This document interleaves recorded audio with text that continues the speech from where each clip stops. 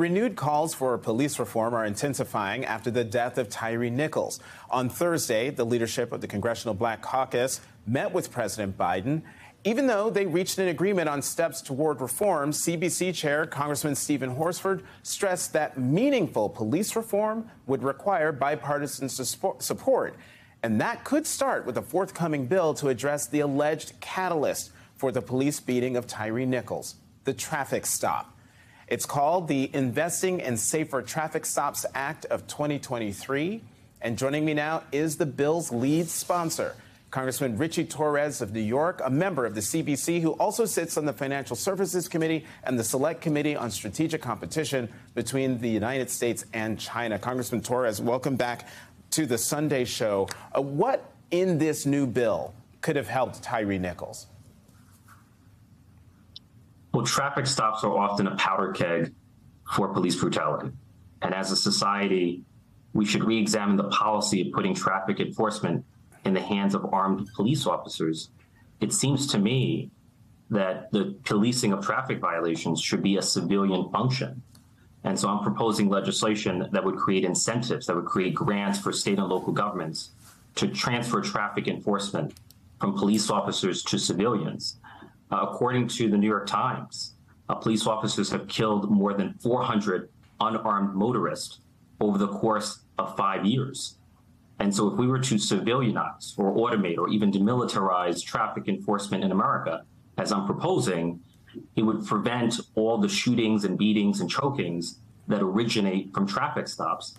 Know, furthermore, there are 730 municipalities that derive at least 10% of their revenues from fines and fees associated with traffic stops. Over policing has become a business model for far too many local governments in America. And so the purpose of the legislation is to fundamentally change the economics of policing, to remove the perverse incentive for these abusive traffic stops.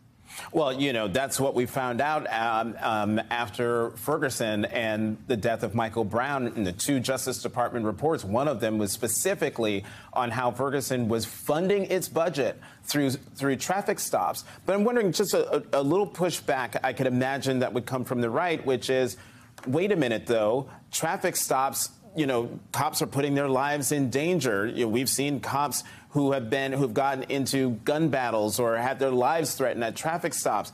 Is that a is that a legitimate concern, or are so many people being killed uh, by law enforcement at traffic stops that wouldn't have been killed if they hadn't been stopped like that in the first place?